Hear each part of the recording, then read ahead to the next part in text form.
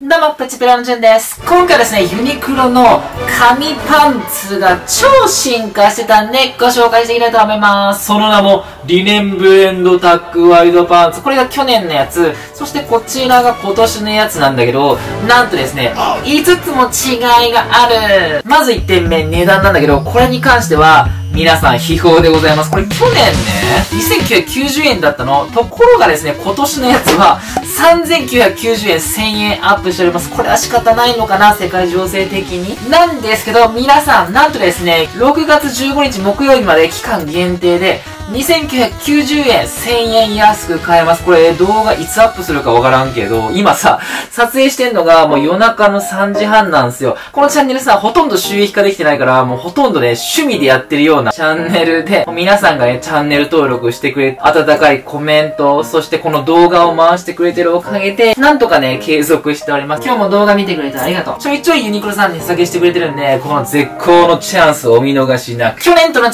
2つ目、それがですね、シルエットでございます。そもそもさ、リネンブレンドタコワイドパンツって何ぞやっていう話なんですけど、レイヨン、朝ポリエステルということで、朝がね、配合されてる素材のタコワイドパンツなわけ。タコワイドパンツはもうユニクロさんがもうずっと定番化してきている紙パンツ、ワイドで足がめちゃくちゃ長く見える。足がスラーと長く見えると、スタイルがよく見える。そしてモテる。これ去年のやつ見ていただくと、股上が長め、そして太ももワイド、裾ワイドの超いいシルエットなわけなんですよね。ユニクロさんメンズだと、こうテーパーとかがあって、裾が絞ってあったりするんだけども、レディースのこちらに関しては裾もワイド。そして今年のやつ見ていただくと、股上長めで、そして太ももワイド、裾ワイドなんだけど、皆さん違い気づきましたか？まず、股上はね、サイズ表を見たところ、少し短くなってる。あと、ウエストなんだけど、ウエストの仕上がり寸法もちょっとワイドになってる。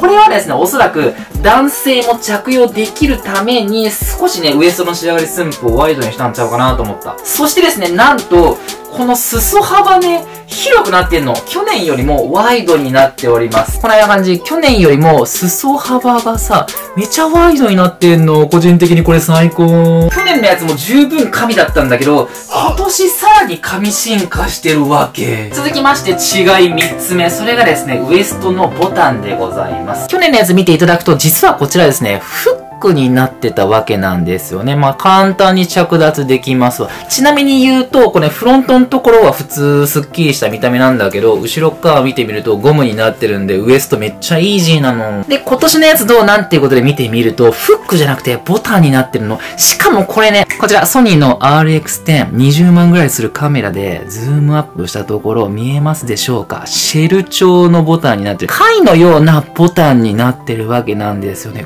美しい高級感ある、実際はね、プラスチックかなと思いますけど、フロントはスッキリになってて、後ろ側見てみるとゴムになってるということで、この辺はね、去年と同じ。ということでね、ディテールをちょっとずつ変えてきてくれてんのよね。さすがユニクロさん。そして違い4つ目なんですけど、それがですね、色の展開。去年は4色展開だったわけ。オフホワイトカラーにブラック、ベージュ、カーキいうことで、ベージュとカーキがね、ちょっとむずいなーみたいな有彩色だし、コーディネートむずそうって感じだったんだけれども、今年はですね、5色展開、1色増えております。無彩色のオフホワイトにブラック、さらにナチュラルカラーにオリーブにパープルっていうね、めちゃくちゃカラフルなやつ出てきてるわけで。で、僕オリーブ買ったんだけど、これが本当にね、いい色なの。なんかオリーブと言いつつ、グレーっぽいカラーでめっちゃコーデしやすいんだよね。まだ一本も持ってないよという方は、まず無彩色の白黒とか買ってもらったらいいんだけど、すでに持ってる方とかは、この辺のね、オリーブ攻めてほしい。ちなみに注意点なんですけど、白は下着が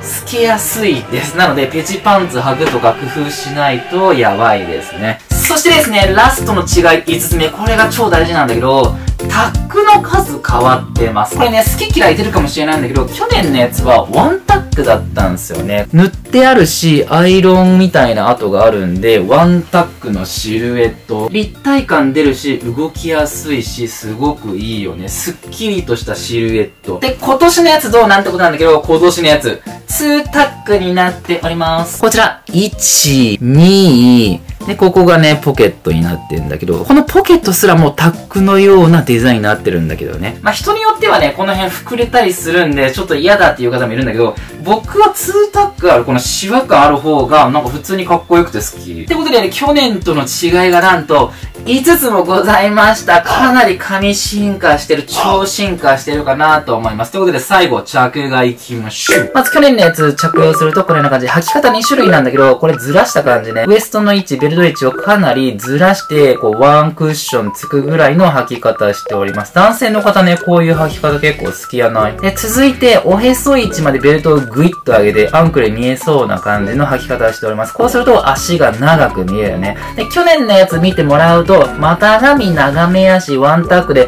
かなりスッキリ足長に見える美脚パンツかなと思います。マジ神なんだが。そして今年のやつ見ていただきましょう。これもね、まず、ちょっとルーズめに履いております。ワンクッションつくぐらいな感じ。あこれはこれでいいよね。確かにね、裾のところワイドな感じするね。ダッドシューズとか、ごつめの靴と相性抜群。女性の方だったら、ヒール高い靴とかね、合わせてもらってもいいかなと思うんだけど。で、今度はですね、ベルト位置をおへそまで上げた履き方、アンクル見えそうな履き方なんだけど、これもいくない足長に見えるウェイ。タックインするとね、2タックっていうのがすごいわかりやすいかなと思います。個人的にはね、これぐらいの2タック全然ありだなそしてこのね、おしゃれなオリーブカラーグレーっぽくて、めちゃくちゃね、絶妙ながら最高。以上今回は去年と今年のリネンブレンドタックワイドパンツの比較でした。最後までご視聴ありがとうございました。バイバーイ。